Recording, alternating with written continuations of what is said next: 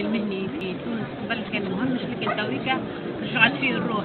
بالنسبة للتكوين آه، في تونس يقف عند ال BTS مع العلم أن فما برشا شباب أنا قراو قطاع التكوين المهني والكل وحبوا يكملوا البرا.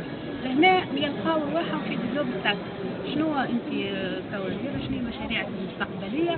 شنو نجموا نشوفوا كلنا مع سؤال جيد وسؤال الحقيقة إحنا من أكبر المهام اللي موجودة اليوم على مستوى وزارة التكوين المهني آه، وكمعناتها برنامج آه، للتكوين المهني. إحنا فما عديد الشباب اليوم كي نمشيو نزوروا مراكز التكوين يقولون إحنا آه، متفوقين. إحنا أنا كشاب ولا كشابة نحس نزل عندي طاقة باش نكمل نقرا وماذا بيا نحب نقرا.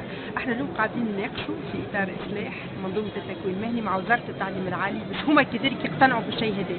فاليوم فما عملية lobbying نجم نقول تقوم بها وزارة التكوين المهني بالقطاع نتاعها الكل بمراكزها بشبابها بالمتخرجين نتاعها آه، باش اليوم كذلك آه، على مستوى التعليم العالي وفي قطاع آه، معناتها الجامعات التونسية اليوم يقتنعوا بذلك.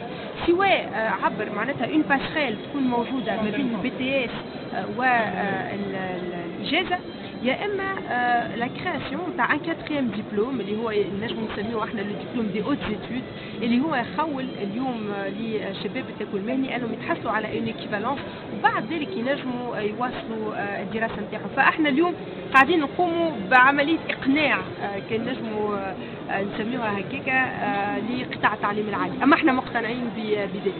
سؤال آخر يجر شو على خاطر على على خاطر البرا ينجموا نحكي لك عن تجارب. فما البرا ينجموا يقبلوا الدبلوم نتاعهم أما فما شرط جزائي اللي هي هذاك ال compte اللي لازم يكون ouvert من البرا بالعملة الصعبة.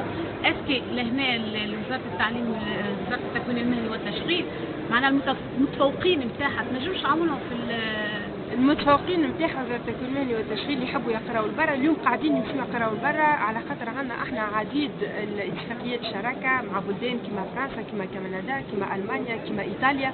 وين آه الشباب آه كما سويسرا كذلك. آه خريجي